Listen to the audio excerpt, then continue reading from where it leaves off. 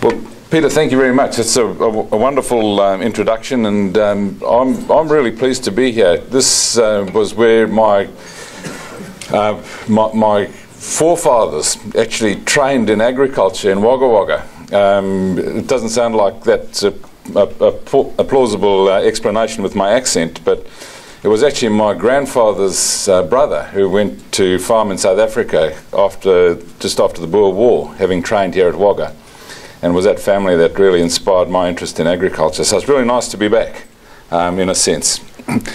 what I'm going to talk about today is just give you a brief overview of what a CRC is, um, and then go quickly through um, a number of slides that just emphasise the importance of productivity. Um, just that's something we, we really need to understand in setting our direction. I'm going to spend a bit of time talking about genomics as one of the underpinning technologies for the future, the importance of meat quality, wool quality, and then very briefly at the end, Peter, when I get to that point, you know I'm, I'm close, so you can relax.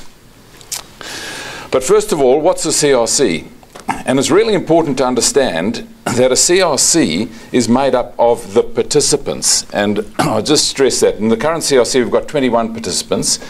And you only get a CRC going um, if you really identify a big ticket industry opportunity.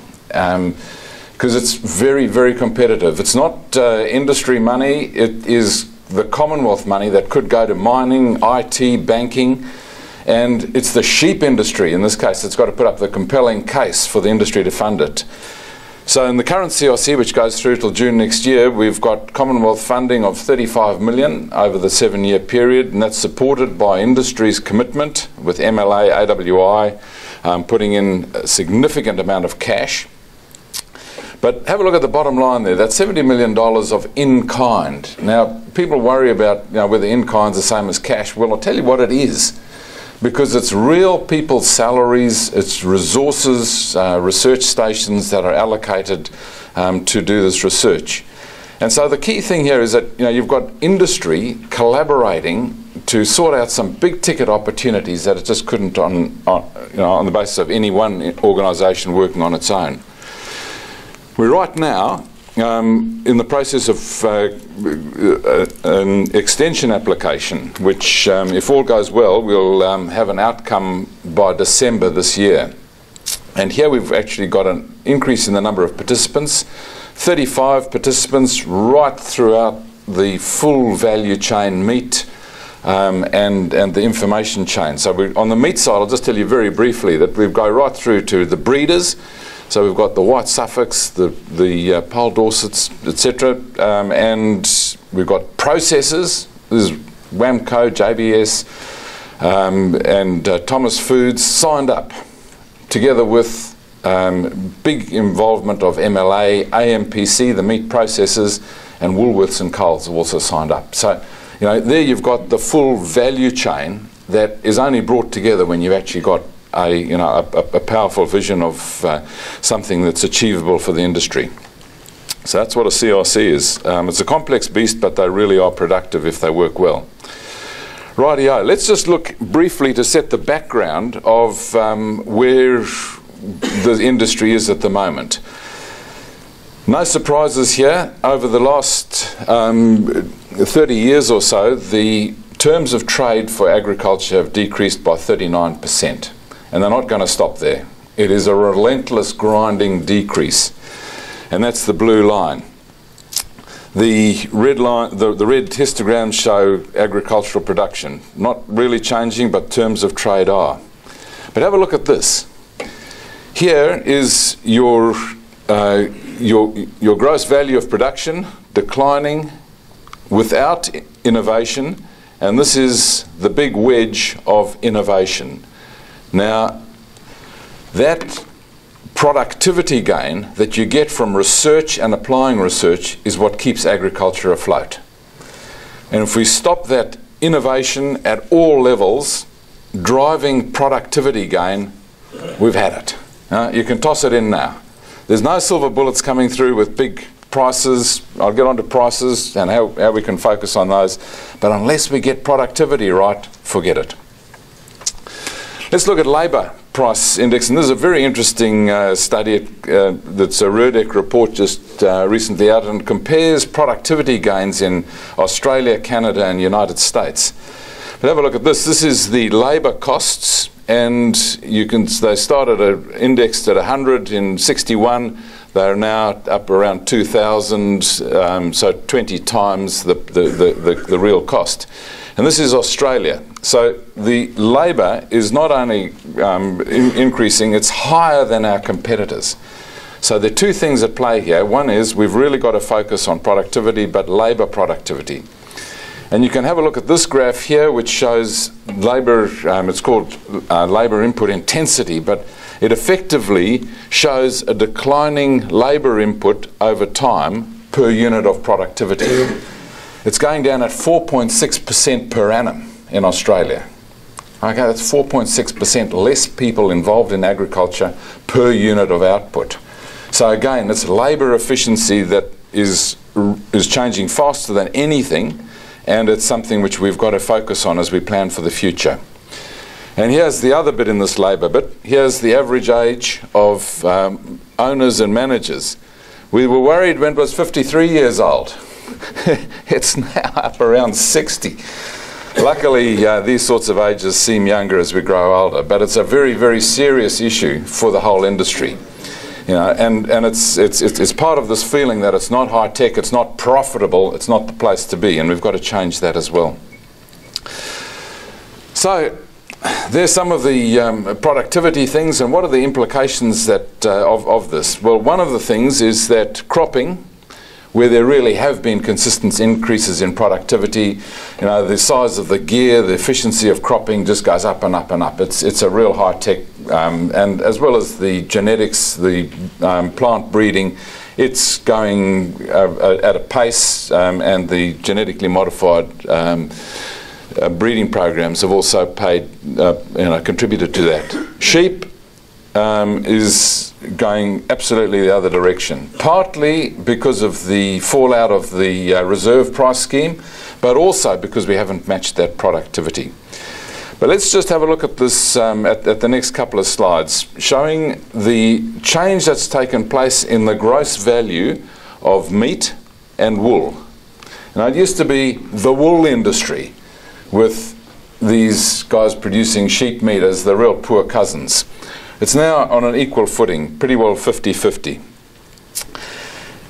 But let's just have a quick look at where wool and sheep meat fit in the world markets because this gives us some idea of how we should be positioning the products that we produce that make us the money from, from uh, breeding and growing sheep.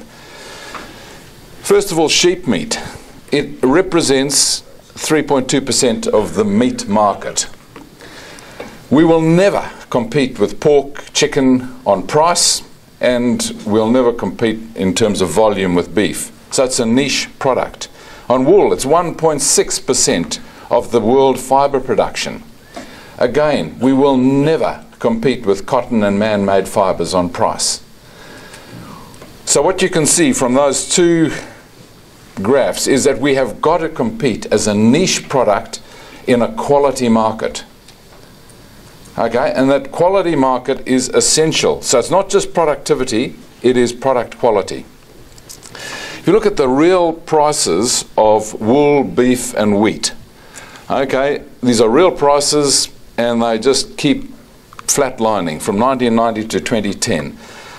If anything, they're going down gradually. Wool, the trend line is minus four cents per kilogram clean over that time. All of these commodities at the moment are trading as commodities. Okay? Even wool is more determined by the price of cotton than by anything else. People talk about the luxury market, jitters in Europe, but you just plot cotton and, and, um, and, and wool, and that four to five times multiplier for, um, for wool keeps going. You have a look at the other side though, lamb and mutton. Over the last um, 20 years, lamb has gone up at 12 cents per kilogram per year every year. Mutton's gone with it. I mean, it's an incredible success story. Let's just have a look at that. And it's, it's quite, quite different from wool. So what's happened here is it wasn't always the case, and many in this room will remember how in the uh, late 1980s the sheep meat industry was an absolute basket case. You know, it was just the you know it, it, was the worst place to be in the production system. People were talking about how to make um, lamb taste like pork so that they could at least get on its coattails. Well, thank goodness we didn't go down that route. but have a look. Around 1990, the industry got together and said, hey guys, what, is, what does the consumer really want? Well, what the consumer wanted at that stage was a larger, leaner carcass. They didn't want this little chop with a pile of fat um, as, as, as the staple. The move to larger, leaner carcasses has just gone um, from that decision point in early 1990s up, up, up, and with it has gone the price.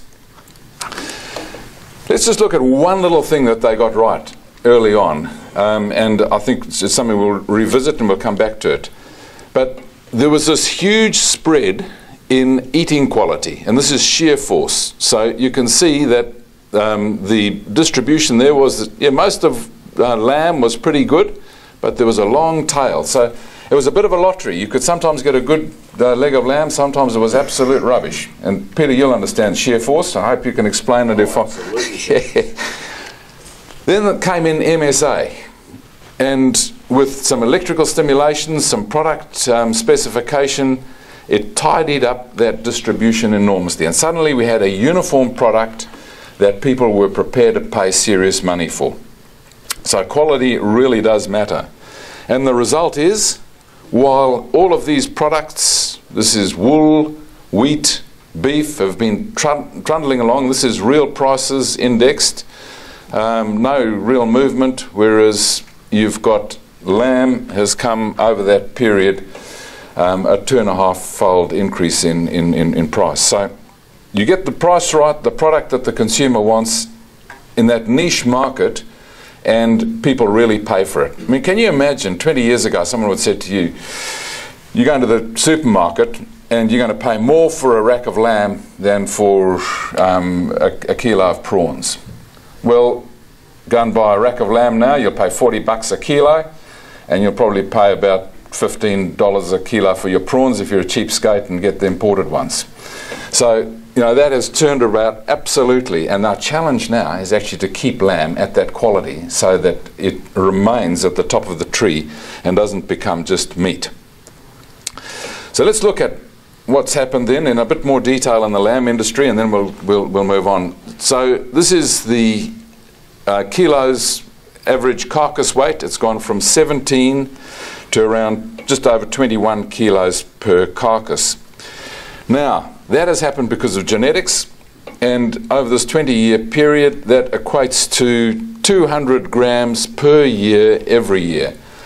It's around about, just to get a citer on what productivity gain means, it's around about a 1.1% um, year on year increase in productivity. That level is absolutely bread and butter achievable using the right genetics. So if you take one message home today, is going to be, and we'll come back to it, get your genetics right and you will look after your productivity gain. You get stagnant genetics in the sheep game and you will go out the back door in five to ten years. Just absolute simple mathematics. And look at the um, amount of money that's associated with that. Um, at $4 a kilo, that equates to an increase per lamb of around $16. Um, and that's pretty well for nothing. And you add on to that the fact that this larger carcass um, on a per head slaughter cost is worth another 20 cents um, per head per year. Okay? so not um, over that period. Let's look at the wool side. If you go right back to 1860 when uh, people first started measuring and reporting on wool, and you look at the average fleece weight, it's a, it's a real gross figure. It's just you know, the amount of wool we produce divided by the number of sheep. And uh, so the, the, the uh, average fleece weight over time, and um, we'll come back to, to, to look at the um, tail bit later on. But let's just look at two parts of this curve. There, in the early days, where they were just measuring and selecting for fleece weight, they were going up at about 1.3% per year. Um, it's highly heritable. You can really move fleece weight and fibre diameter faster than anything. They're highly heritable, easy, easy to measure. But let's look at what happens when we move up to this um, period here where we're starting to introduce fibre diameter as, a, as, as another selection parameter. Um, the things become a little bit more complicated. And unless we're really using best practice genetics, things slump badly because you're trying to go in two directions and you're not doing either very well. We've also had this very significant drop in fleece weight um, on, a, on a flock average, uh, the whole flock average, as people principally in Queensland have got out of sheep. Now, those were the heavy cutter, um, sort of medium micron sheep, and they've just gone. You know, sheep in Queensland are pretty well a, uh, an endangered species. And uh, there, there, are also other areas where they've gone um, principally for labour. I mean, the, the, people talk about dogs and um, predators, but it's really the labour components that, that's done it. And this is the thing that's made the wool job a lot more difficult. This is the, the, the uh, micron premium. So this is fibre diameter at the bottom here. I'm not sure where these question marks um, arrived from. But you know, this, this micron um, has moved, the micron premium has moved all over the place. In 2011, we had this glorious year where wool was wool again and finer microns were the order of the day.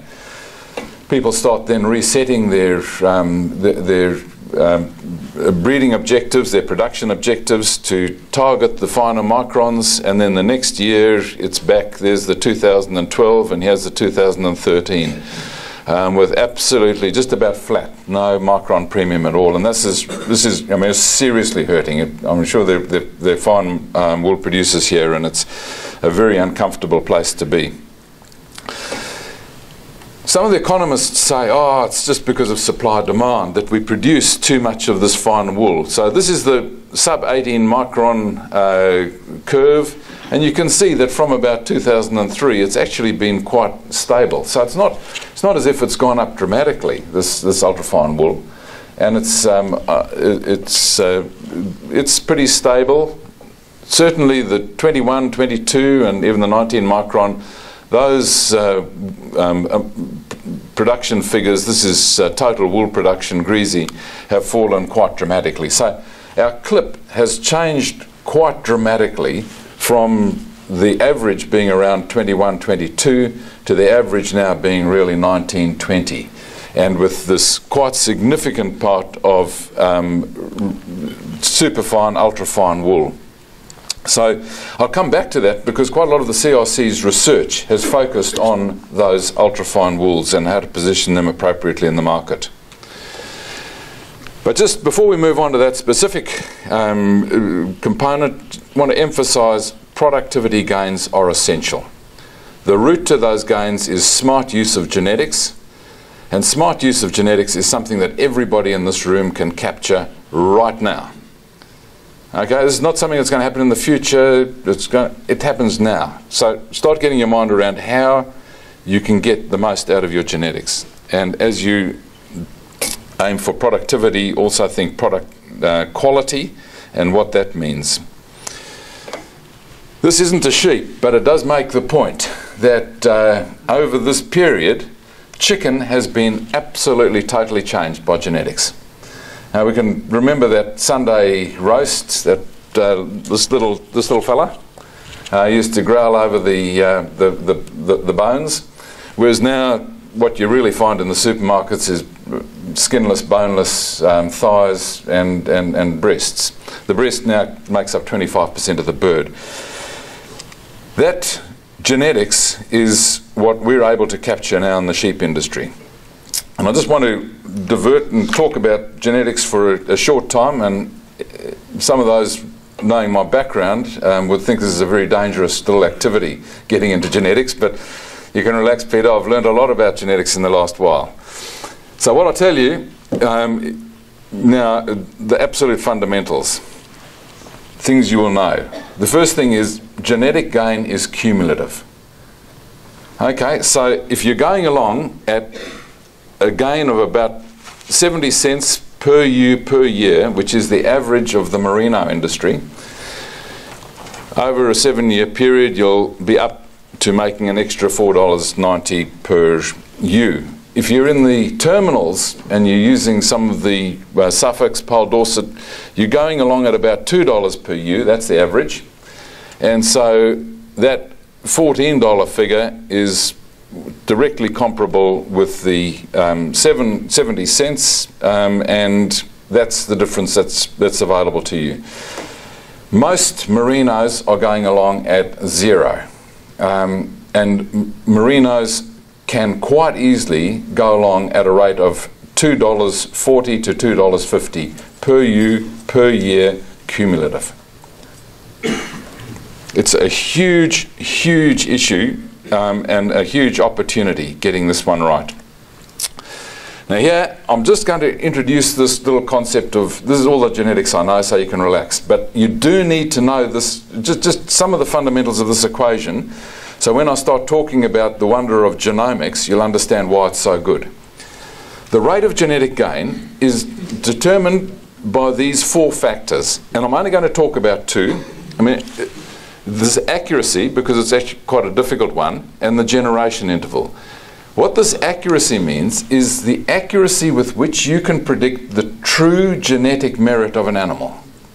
Now, looking at the animal tells you nothing. Okay? It might tell you if he's a big fella or a little fella, but it doesn't tell you whether he was a twin or a single. Doesn't tell you what the quality of the wool was, what his resistance to parasites might be. All of that is actually quite difficult to get an understanding of the true genetic merit of the animal. And this is where the really clever genetics comes in. And, but the, the key thing that you've got to look at here is that if we increase accuracy, we increase genetic gain because we're selecting the right animals to go into our breeding program. So that's why this accuracy is so important. The second thing is this, gen, this generation interval. If we're breeding from older rams, okay, more, more months, more years, you're dividing this lot by a bigger number, and so your genetic gain is slower.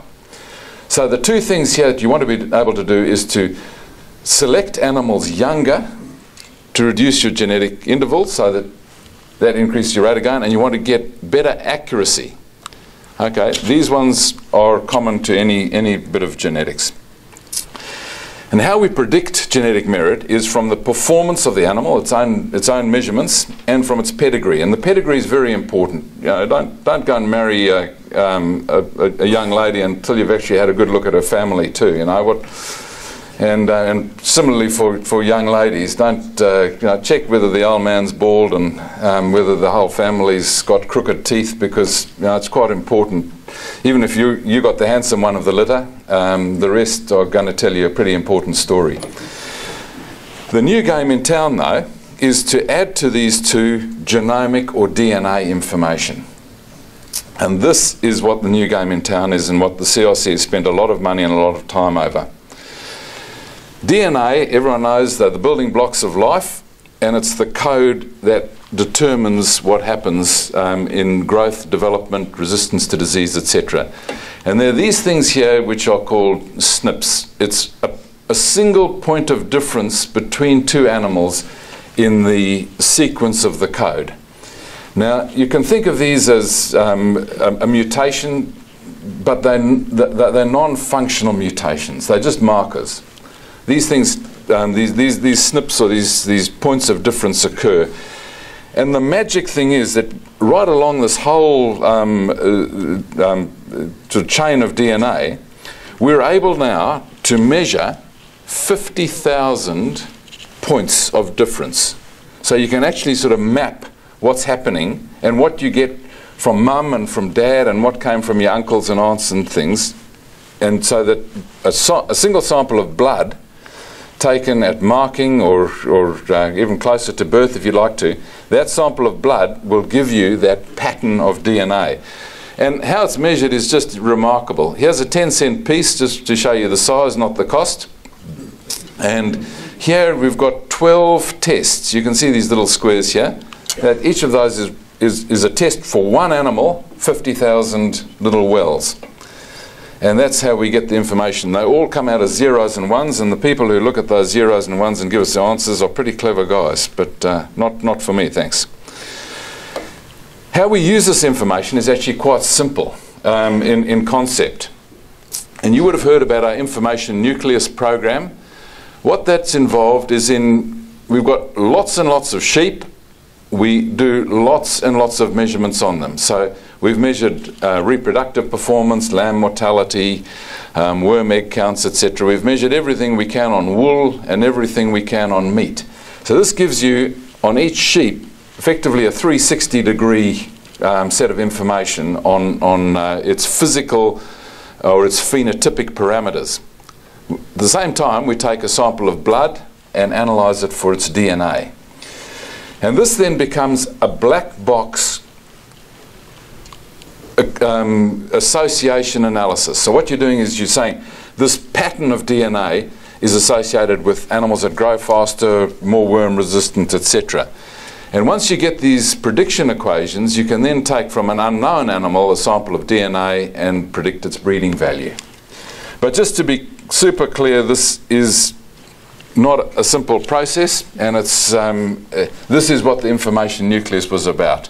No need to read every slide, but over a five-year period, we've um, worked on eight sites around Australia, 18 organisations, um, and totally we've collected about over a million bits of information. So it's, you only get these accurate predictions that we talked about here by mega amounts of data, both DNA and, and, um, and, and physical. But the really good thing is that as we've collected all this data, whether it's DNA, whether it's meat, um, as it's come down, it's come through the Lamb Plan Merino Select in the sheep genetics um, warehouse, and it's, it's gone out as new information, almost real time. So this stuff isn't something that's coming in the future. It's available, um, you know, right now as it happens, and it's not a silver bullet. It contributes to pedigree performance and adds in just this DNA information. So, what's the benefits of this? Let's just look here um, at the accuracy, which you now know um, why it's important, with no genomic selection and with genomic selection. And this is the percent different, difference. So look right down to the bottom there. This is when you're going to select your young merinos at six months on a whole range of parameters. The improvement in accuracy is around 38%. The improvement in genetic gain is therefore 38%. It's beautiful, simple mathematics. And the important thing here is look at some of the things which we're measuring. We, we're um, able to predict worm egg counts or your resistance to parasites. And you're also predicting things like adult fleece weight um, and adult mean diameter. So these things that are only available late in the animal's life. The benefits um, become less important as the animals grow older. So this the last one was for uh, six months, this one's for 18 months. But even there, you've started to collect a lot of data on the animal and its relatives, but you're still around 20% better off. So hugely powerful. And in the terminals, um, the benefits are um, around 16%, quite a bit less. But here you're getting um, things such as intramuscular fat, and we'll come back to that because intramuscular fat is one of the key determinants of eating quality. We've never been able to measure it in commercial breeding programs. It's always been too difficult, too expensive. We now can predict it from the DNA and it's becoming critical in our production and marketing system. So briefly, the benefits of DNA analysis are that we're able to select younger animals with more accuracy on a broader range of traits. Gives us faster and better balanced genetic gain. Meat quality. You only know meat quality in, by feeding it to people, and this is exactly what we're reporting here. So each dot here is a set of samples around from about six animals from a single sire. So these are progeny groups, and they've been tested by consumers, the loin um, and the top side. The loins are pretty tender muscle, the top side's quite tough. And here you can see the percent um, acceptance. These ones round 40 to 50, these ones going up to 70. I'll tell you a secret. This ram here, the lowest quality eating um, by consumers is the top, I was going to say the breed, I won't say the breed, but the, one of the top semen size for growth, muscling, and fat. And he's the toughest ram in there. He's shot now, he's dead, so I don't need to worry. but until that moment when we actually started looking at progeny eating quality, we hadn't a clue. And this is one of the sad facts that as you select for faster growth, leaner, bigger muscling, they get tougher and tougher. And soon you're producing pork, not lamb. The other good news, and uh, I'll get shot if I tell you this, but I will anyway, these ones are your merinos. The merinos have been slammed for rubbish quality, and look at these beautiful big terminals and things. It's actually the merino that's underpinned the quality in our lamb eating um, standards. So that's, uh, that's, that's something, and this, this intramuscular fat and eating quality is going to become absolutely standard. Now, why is it so important? And here we come to some real dollars. You've heard of the MSA um, system of grading, where two stars unsatisfactory, three is good every day, four is better than average, and five is premium. But what does that mean? In a lot of studies with consumers, if you if they say they're prepared to pay ten dollars um, for three star um, meat, they'll pay one and a half times that for four, twice that for five, and only half of that for ungraded two star. So it's real money for the consumer. Let's put those um, discriminators in for that last graph I showed you. And you see this guy, this is a loin and it's dog meat. Whereas here, we've got loins that are five star, you know, you'd present them in any restaurant with pride.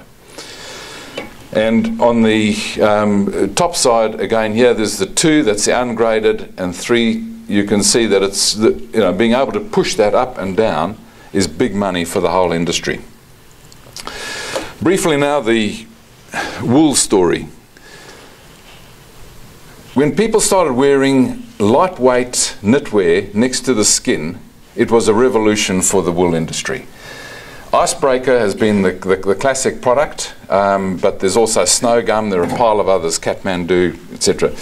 When they got into this next to skin lightweight, they broke the myth that it was itchy, bulky, and we've created a new generation of consumers willing to pay premium prices for these high grade next to skin um, products.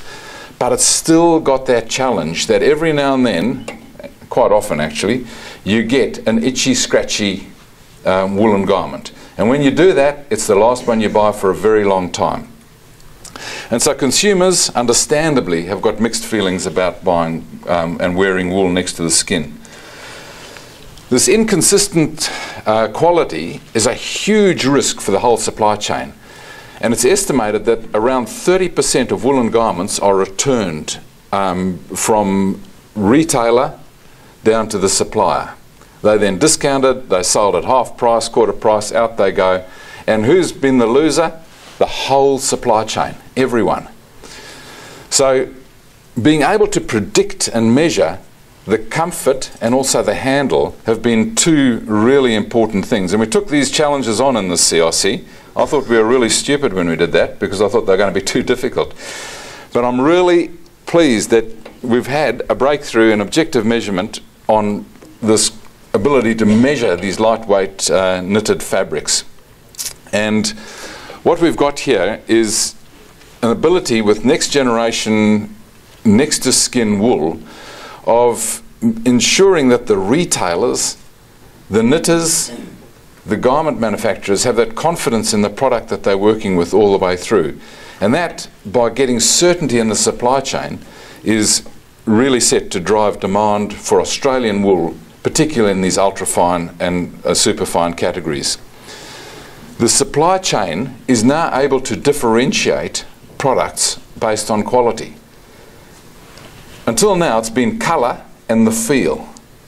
And everyone who's had a bad experience with wool knows that they've felt a garment and it's been beautifully soft. and they've taken it home, and that softness came from a bit of silicon finish. And it's prickly and it's itchy, and that $30 wool um, singlet you got from Target, it's going to really hurt. So this transparency of um, trading through the supply chain, the consistency of the product is a real, real breakthrough. And I'll just tell you briefly about these uh, systems. In order to measure comfort, we went again to the consumer. And each of these lines represents uh, between 25 and, and, and uh, 35 young ladies. We found that blokes were just hopeless at this. They couldn't tell something that was prickly from something which was just beautiful. So these are women between the age of um, 25 and 35, all knowing a lot about um, uh, clothes, prepared to spend serious money on them.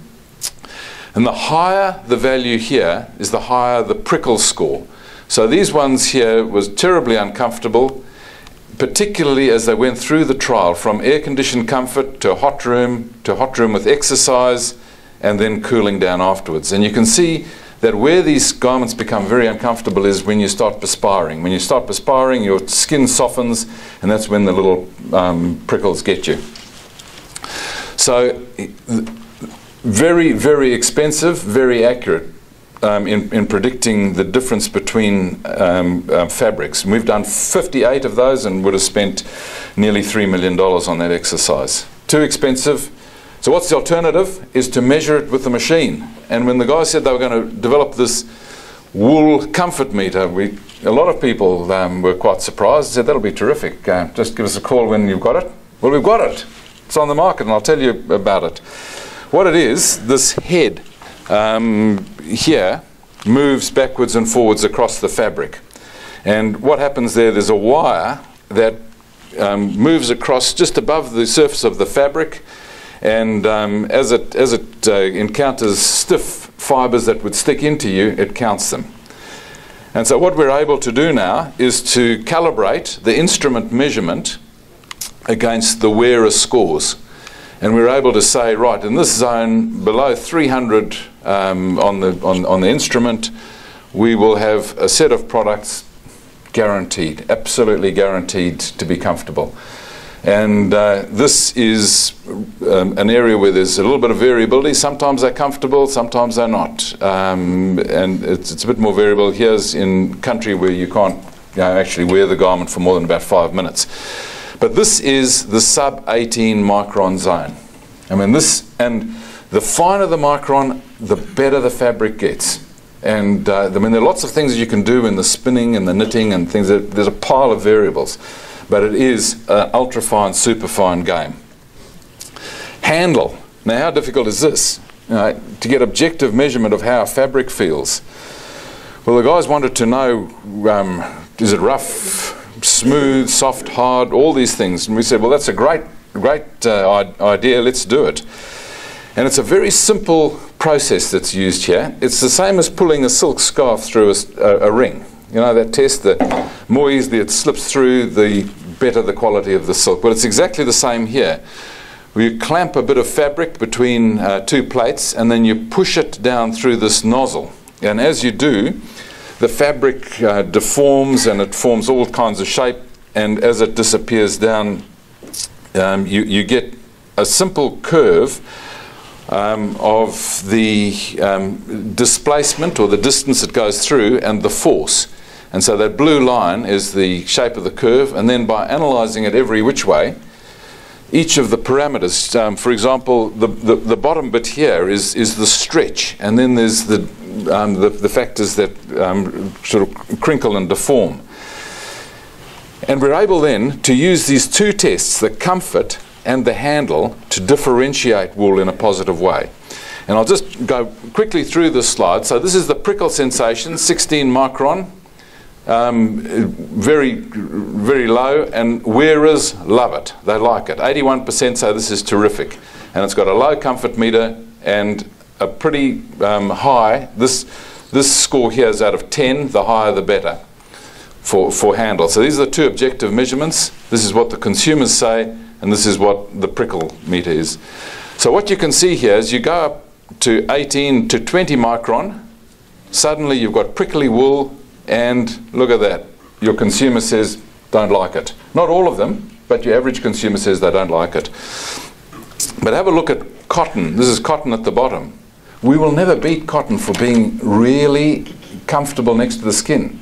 It's 12 micron. It's just smooth as. But look at this. The, um, it, it's only 70% compared to 80 like it. People love the feel of wool. They love that, uh, that, that, that, luxurious feel. And it, the two tests together, the comfort and the handle, give you that positive differentiation that really explains what the consumer's prepared to pay for. And these two tests, the handle um, and, and, and the comfort, are now uh, being trialled in Australia through AWTA in Melbourne, and we've also got testing going on in China, and a couple of the major knitters um, giving us some pretty good feedback on, on its use. So, Peter, just these final two, and, and um, we're, we're, we're done. Um, just before finishing, wanted to point out that other aspects of the CRC um, were to work on well adapted sheep, making management easier. And there have been a, a, a number of training programs, the Bred Well, Fed Well, you might have uh, be familiar with. There's a ram breeding guide, which um, we're working on, and there's a set of publications which are really quite handy um, called Sheep, the Simple Guide, Making More Money from Less Labour. Um, and that's, that's available. If you'd like copies of it, you visit our website and we can send you one. We've similarly put a lot of effort into improving reproductive um, efficiency, and um, we take credit for setting up the lifetime ewe management program. Um, and also the managed scanned ewe workshop, which uh, Chris Shands ran so so effectively. And the parasite management, um, I'll be careful what I say about parasites in this group, but you know, the online information systems that are created through FlyBoss, WormBoss, and the new LiceBoss is going to be launched next week, next Tuesday. It'll be live. Um, they are pro- proving to be extremely good resources for um, better management of, of, of, parasites. And this extension um, will again take us further. The concept is that we will build on this uh, technological transformation that's occurring in the sheep industry. We'll build on it by um, managing welfare, well-being in a more proactive way, um, capitalising on this meat value chain that we've established, and underpinning both of these by going to the next level of genomic uh, technologies for faster and affordable genetic gain. So thanks, Peter.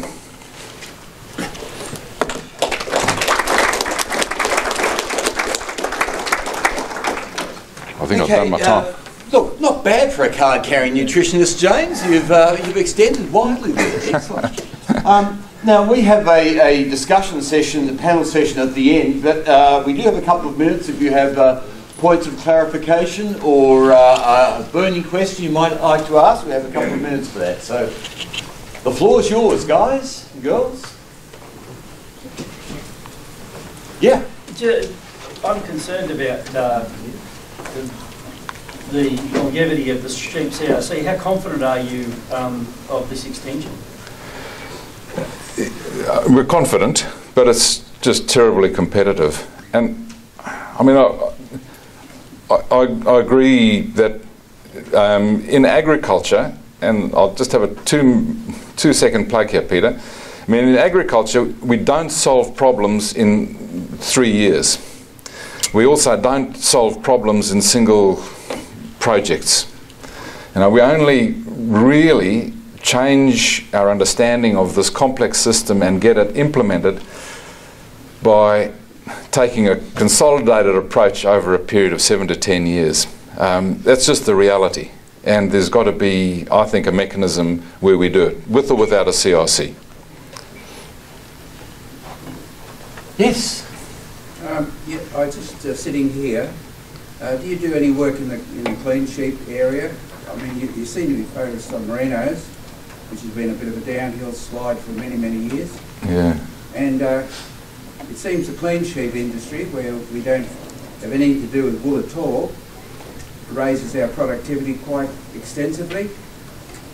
I know quite a number of merino breeders who never go back to uh, strike and all that sort of stuff. And, sure. Uh, Um, we've, we've done uh, in this program a bit of work on the Dorper in terms of meat quality.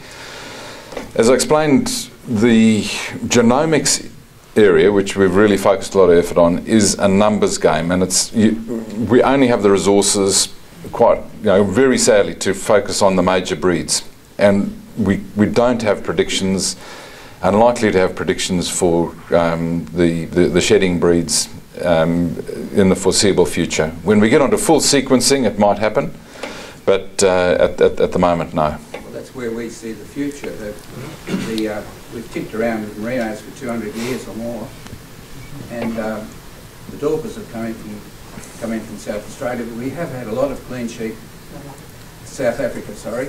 We have, have had a lot of clean Yeah. wool, uh, clean sheep in Australia for some years, and the biggest problem with us, of course, is getting a decent price at the uh, Sadio.